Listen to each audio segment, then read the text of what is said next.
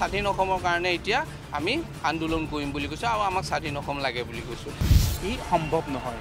আমি কোনখন অসমৰ স্বাধীনতা বিচাৰিছোঁ? অসমতো অসমীয়াই আত্মসন্মান সহকাৰে জীয়াই থকাৰ অধিকাৰ আমাক লাগে। আলফাত অকল আমাৰ কেম্পৰ ল'ৰাখিনিয়ে ক- কষ্ট কৰা নাছিল নহয়। গাঁৱৰ ল'ৰাবিলাকে কেনেকৈ কষ্ট কৰিছিল? গাঁৱৰ ল'ৰাবিলাকে কেনেকৈ আৰ্মি বা চি আৰ পি মাৰ খাইছিল? আমাৰ আলোচনা চলি থকাৰ মাজতে সেই তেওঁলোক আহিছে। এঘাৰ বছৰ মোৰ ল'ৰাখিনিক মই কেম্পত বহাই থৈছোঁ। প্ৰত্যেকটো কেম্পত আজি তাৰিখত হতাশ। কাৰ্যবাহী সম্পাদক দেৱজিৎ তালুকদাৰৰ সৈতে কণ্ঠ। এই বাৰ হাজাৰ শ্বহীদ পৰিয়ালে কেতিয়াও বহি নাথাকিব। আজি নিশা সাত বাজি পঁচপন্ন মিনিটত।